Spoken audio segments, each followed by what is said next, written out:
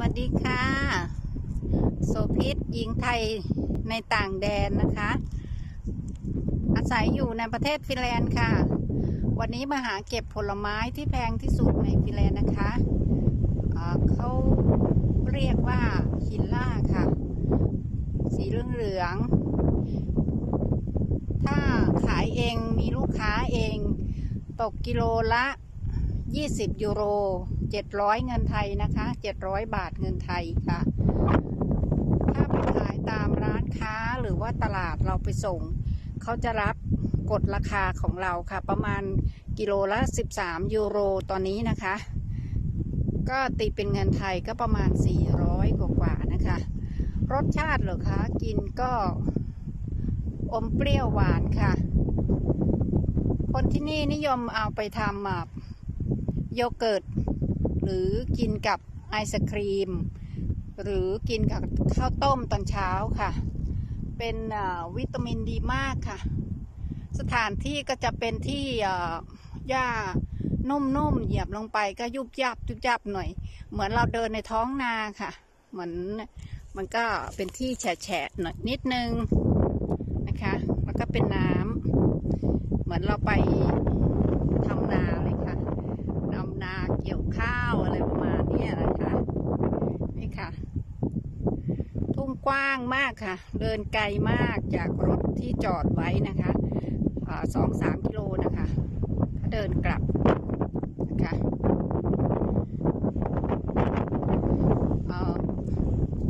จะให้ดูนะคะเปิดกลับหน้ากล้องไม่ค่อยเป็นเท่าไหร่ค่ะอันนี้ที่เก็บได้นะคะ วันนี้เก็บได้ก็ประมาณ น่าจะได้ประมาณสามกิโลกว่าๆแล้วค่ะ มาถึงนี่กันหกโมงหกโมงเช้าแต่ตอนนี้เดี๋ยวลงเวลาก่อนนะคะ เก็บไม่ค่อยเก่งด้วยค่ะ ตอนนี้ประมาณสิบโมงสิบห้านาทีค่ะ คนที่เขาเก็บเก่งเขาก็จะได้วันหนึ่งก็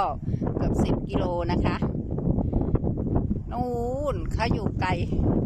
อยู่นู่น ค่ะคนขับรถพามาค่ะ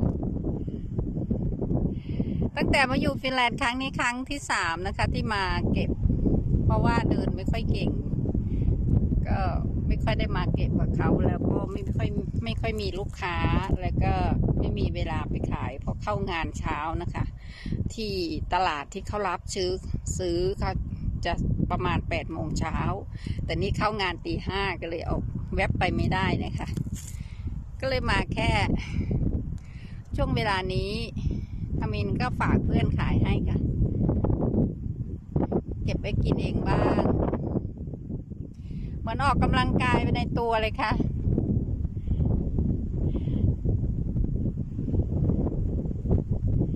เอ่อจะให้ดูรูปมันนะคะ จะเป็นแบบนี้นะคะอ่ากลับหน้ากล้องได้ไหมเอ่ย ไม่ได้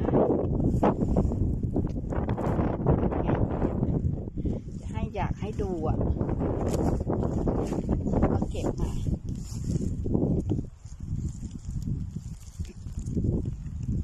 นี่ค่ะแบบนี้ ขอโทษด้วยนะคะกับน้ากล้องไม่เป็นค่ะ ทุกคน